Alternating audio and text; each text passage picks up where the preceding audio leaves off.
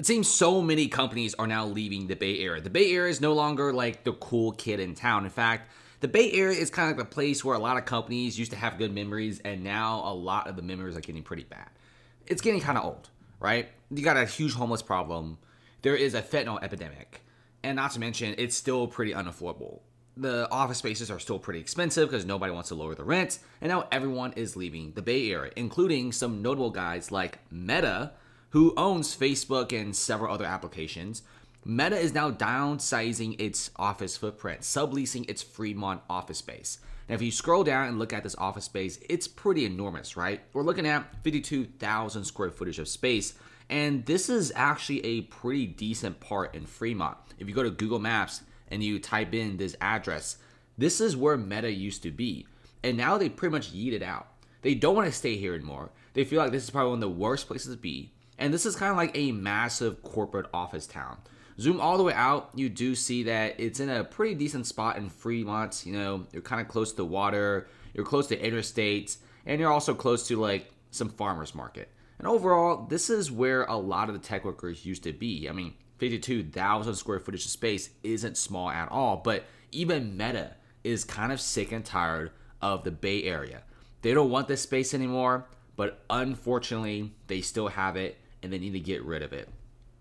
Now, if you guys just think it's in Fremont, it's also 181 Fremont, which is a premium office space in San Francisco. This is 435,000 square footage of space, and not a single company wants this just yet. I mean, we're talking about almost half a million square feet, so the only person that can actually get an office this size is another big corporation. But there is no other big corporation that's coming to San Francisco. It's all big corporations leaving San Francisco. And if you check out this unit here, 181 Fremont is a massive space. This is not small at all. And I could say these are actually some of the most expensive condos in San Francisco. It's basically like Millennium Tower prices without the leaning and tilting. So if you look at Fremont's, it's pretty massive. It's a very nice building. Of all the skyscrapers, this is the best looking one in my opinion. The condos here, like one bedroom, sold for like two million bucks, and they're still hyper expensive. It's like if you made it in the Bay Area, you buy a condo here. So look at this. Half of it is office space, which is now completely vacant. I mean, when you vacate half a million square footage of space, that's a lot of space, guys. This is not a small amount of space. We're talking about like thousands of employees are no longer working here anymore. And Meta is just literally offloading spaces after spaces after spaces. And this is causing a huge ripple effect. This is actually causing what some call a massive real estate crash in San Francisco. We use that word crash so many times, but San Francisco is a real crash. When you have whole entire office buildings in very good downtown areas selling for 50% discount, that's not great at all, guys. That's not great. This building, look at how big this is. Sold for 60 million bucks. 201 Spear Street is a great example I love using every single day. Because look at this. It's right next to the water, right? It's right next to the park. It's right next to some of the biggest companies in the world. It's next to the metro station. It's next to the Salesforce building. What's there to not like about this building?